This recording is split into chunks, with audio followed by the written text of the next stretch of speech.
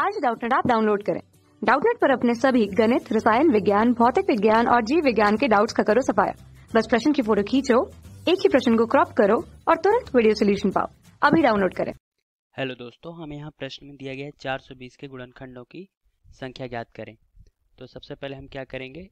420 का गुणनखंड कर लेंगे, अभाज्य गुणनखंड। तो अभाज्य गुणनखंड क्या होता है? 420 है। तो पहले ये दो से जाएगा। दो दो दूनी चार, दो एकम दो शून्य, फिर दो से जाएगा ये दो एकम दो दो पंचे दस, फिर तीन से जाएगा ये तीन त्रिका नौ, तीन पंचे पंद्रह। अब ये जाएगा पाँच से, पाँच सत्ते पैंतीस और सात से सात एकम सात। तो चार सौ बीस को हम लिख सकते हैं, यहाँ दो गुणित दो है मतलब दो का वर्ग गुणित तीन की घात एक और पाँच की घात एक, सात की घात एक।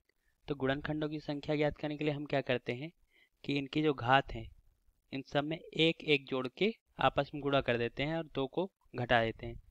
तो गुणनखंडों की संख्या जो हो जाएगी, गुणनखंडों की संख्या जो एक घात हैं, सभी में क्या करेंगे, एक जोड़ते जाएँगे।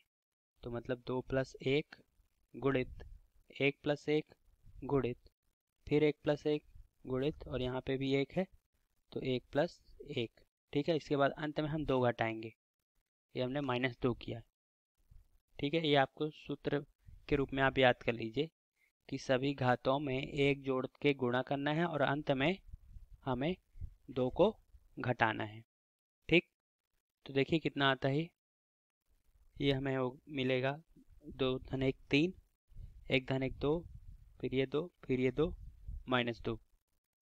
तीन दूनी छः छः दूनी बारह दूनी चौबीस चौबीस माइनस दो बराबर बाईस। ये होगा गुणनखंडों की संख्या।